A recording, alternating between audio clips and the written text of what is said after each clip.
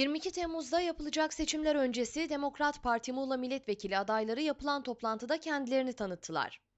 Burada hiçbirinin sıra kaygısı yok. Bunu bilin. Bizim için önemli olan sıranın neresinde olursak olalım bu ülkenin insanların bu iktidardan çektiği bu çileyi, bu sıkıntıyı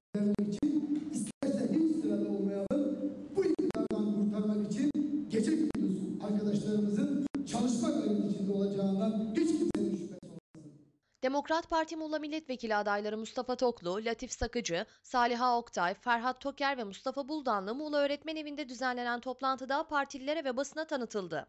Demokrat Parti Muğla 3. sıra adayı İrfettin Akar'ın katılmadığı toplantıda konuşma yapan Demokrat Parti İl Başkanı Enver Kansu, 22 Temmuz dönüm noktası olacaktır. Amaç sağda birliği sağlamaktır dedi. Dava arkadaşlar, 22 Temmuz Türkiye'nin bir dönüm noktası olacaktır. Demokrat Parti üzerinde oynanan oyunlar hepimizin malumu. Doğru Yol Partisi kapatıldı. Demokrat Parti kuruldu. Amaç sağdaki birlik ve beraberliği sağlamak. Toplantıya katılım oldukça yoğundu. Çok sayıda partili öğleden sonra öğretmen evine gelerek milletvekili adaylarının konuşmalarını dinlediler. Demokrat Demokrat Parti 60. dönem milletvekili adayları ilin sorunlarını çok iyi bildiklerini vurgulayarak Muğla'yı Ankara'da en iyi şekilde temsil edeceklerini söylediler. yaparak, özveride bulunarak ama çizgimden şaşmadan, davamdan da şaşmadan mücadelemi sonuna kadar devam ettirerek bugün şuradaki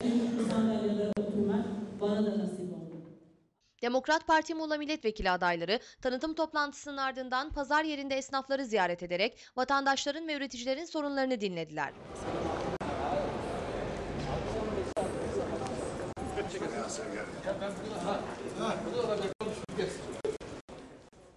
Öte yandan bir grup kadın tanıtım toplantısının yapıldığı salona girerek sessiz bir şekilde meclisteki sandalyeleri işgal ediyorsunuz. Sayenizde sorunlarımızın çözümü bir başka bahara kaldı. Siyasi partiler yine sınıfta kaldı gibi pankartlar açtılar. Yaklaşık 20 dakika kadar salonda kaldıktan sonra ayrıldılar. ne yüzüdür ki damatları gitmiş CHP'den